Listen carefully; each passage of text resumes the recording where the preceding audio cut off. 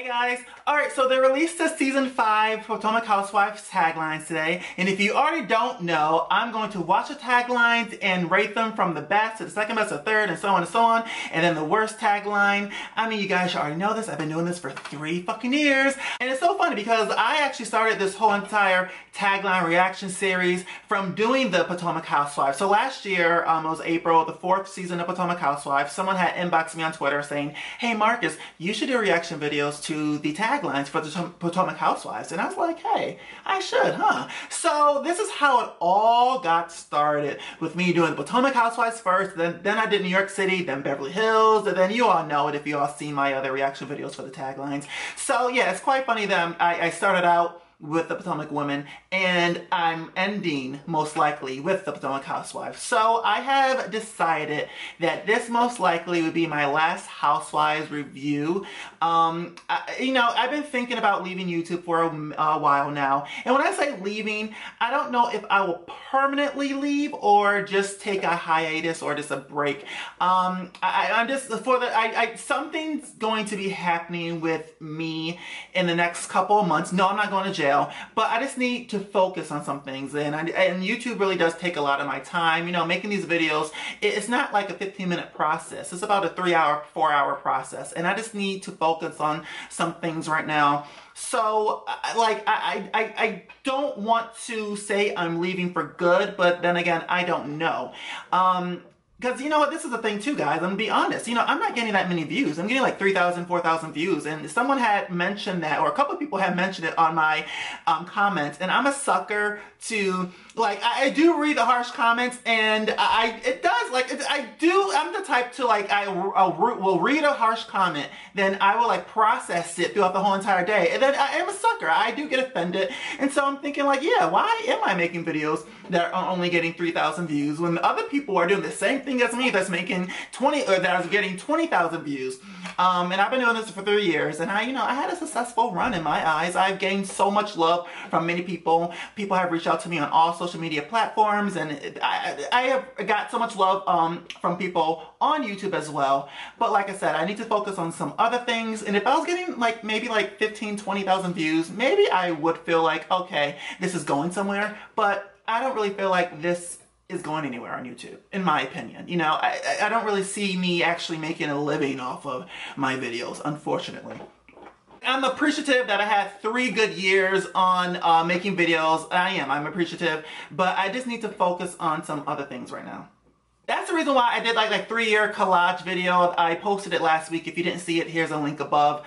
Um, but yeah, that's the reason why I did that video because I'm like, I, I, I've been on here for three years and it's been a good fun run. I have loved connecting with a lot of you all and I'm appreciative of all the love and support. Um, but yeah, I'm just gonna take, I just need to take a little break. But who knows, maybe I'll come back next month and make a video. But if I don't make, I, I, think I'm saying this because if I don't make like a reaction video to any new trailer or any new taglines, this is the reason why. And I just don't want to disappear without letting you all know why I'm disappearing. Is that fair? I do plan on making two more videos though. I plan on making um, my coming out story and then I plan on making um, my first time of having sex story. So I do plan on making those two videos and then I'm done after that. So this will probably be my last Housewives video for a while. Or maybe forever, who knows. So if you've never seen my first reaction tagline reviews for the Potomac Woman, here is a link above. I did season one through four last year. Like I said, this is how it all got started. Alright guys, so you came here to watch my reaction to these taglines. So I'm going to watch the taglines and after the video I'm going to rate them and telling you which one is my favorite and then I'll let you know which one is the worst tagline, alright? Alright, let's get started. I'm still the baddest thing walking and the most anointed one talking. Honey, the Grand Dame doesn't repeat history. She makes it. All right, Karen. Maybe if you tried a little harder, you wouldn't have to try me. I have to watch him. I live in a house full of ballers but I never get played. Uh, oh, girl, what? Now that I got my baby, that's the only crap I take. Corny. Reading is fundamental. And honey, I own the library. The professor has arrived, okay. and class is officially in session. There were some corny ones and there were some good ones. Uh, okay, Candiace, I see your little hair flipping. You know, you ain't the only one who could flip hair. okay, okay, Candiace. Um, uh, Gizelle, first of all, you keep saying the whole, I'm not the only one talking or whatever you keep saying about talking and walking. Well, you keep saying that every season. Uh, you're probably going to get the worst, but I have to watch these one more time um, just so I can like fully analyze is that the, word, the right word to use? Analyze? Um fully like you know, i watch it one more time so i could you know just just just make sure i'm giving the right placement you know um in in my head. All right guys let's watch this one more time. What what the fuck was that? Yeah that i gotta move out of here. They vanquishing demons. There's a charm ones living above me? What the fuck was that shit? Scared the shit out of me. Shit i think i should have myself. All right guys let's watch this one more time I'm still the baddest thing walking and the most anointed one talking. Anointed? Honey, the Grand Dame doesn't repeat history. She makes it. like that. Maybe if you tried a little harder, you wouldn't have to try me. Okay, Monique. I live in a house full of ballers, but I never get played. Yes, you do. Now that I got my baby, that's the only crap I take. Corny. Reading is fundamental. And honey, I own the library. No, you don't. The professor has arrived, and class is officially in session. All right, so, so, like I said, some of them are corny and some of them are good. Um, some of them I like, but I just don't agree that it matches with their personality, aka Robyn, aka Donkey, which is Candiace. I shouldn't have said that. Well, she does look like Donkey from Shrek. Donkey and um the dragon. She has, yeah, she just yeah, sharp teeth, her veneers are too big for her mouth. Nene Leakes, you know, like, come on. Why do people get those big, gigantic veneers? You should get teeth that matches with your face. You know, you, uh, that's what you look like, Candiace. I'm flipping my hair. All right, so my favorite tagline, it will go to Monique, um, which said, maybe if you tried a little harder, you wouldn't have to try me. Eh, eh, eh. Go ahead, Monique, Monique, Monique. You're so unique. I think about you on the toilet seat. I love me some Monique. You know, I, it's, it's, something about her. Um, but Monique, you're gonna get the best tagline uh, for season five. The second best I will give to the Grand Dame. Um, it, when she said, honey, the Grand Dame doesn't repeat history, she makes it. I know that's right, Karen. I love me some. I, Monique and Karen are really the reason why I like this show. Um, they, they are actually quite funny and entertaining, and Karen to me reads really well. Um, Gizelle, she gets some good reads, but Karen, she knows how to read somebody, and I like you, Karen. I, I like you. So uh, Monique gets the first best, and Karen gets the second best. Third, I'll have to give it to Dragon. Um, even though she said reading is fundamental, and honey, I own the library. I don't really think that you are good at reading. I never really, I don't think I, I don't remember any of your clapbacks. Um, but I don't remember you as a good reader, but I did like this tagline, so I am giving you third place dragon. Um, and I like when you flip your hair. I don't know, something about that really like is, excite me. Woo! Um, Ashley didn't do it as good as you did. Um, but I don't like you, Candiace, by the way. I'm not team you. I am team Monique. Monique, I think about you on the toilet seat.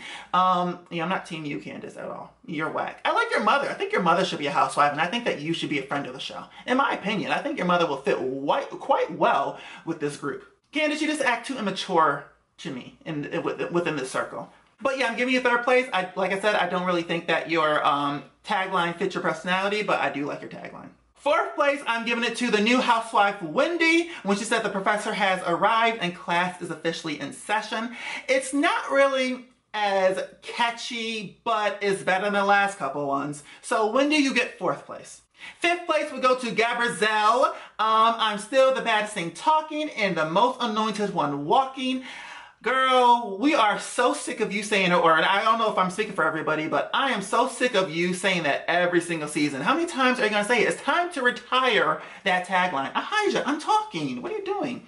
It's, it's time to retire that tagline, Gizelle. You're starting to remind me a little bit of Heather from New York City with the whole holla every single fucking year. So, Gizelle, next season, um, you should not be talking about walking or talking, and you're definitely not anointed one. Who told you that you're anointed? Huh? Your, your husband may be a priest, but that doesn't make you anointed. And he really shouldn't be a priest slinging his dick around in the congregation and getting everyone pregnant. By the way, congratulations.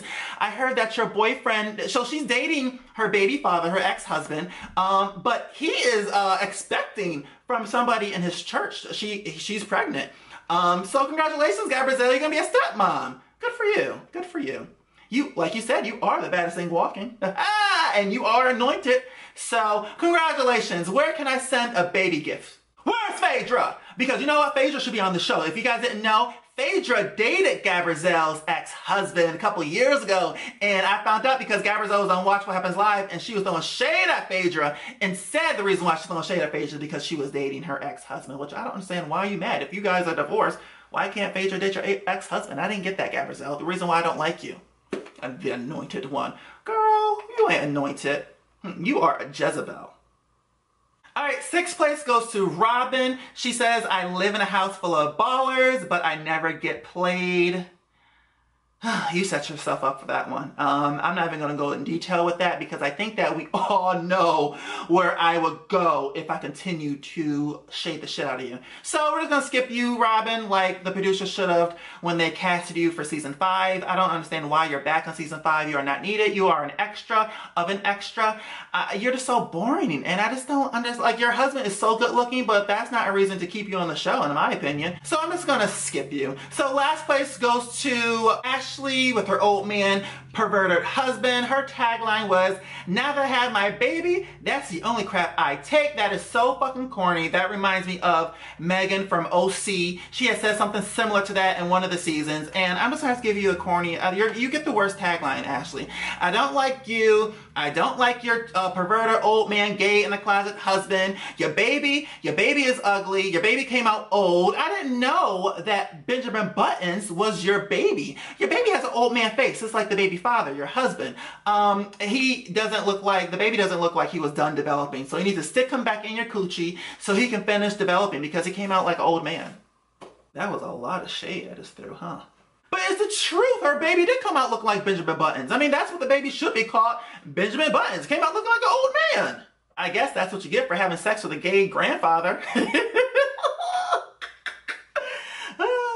so that is my review and my reaction to the season five taglines.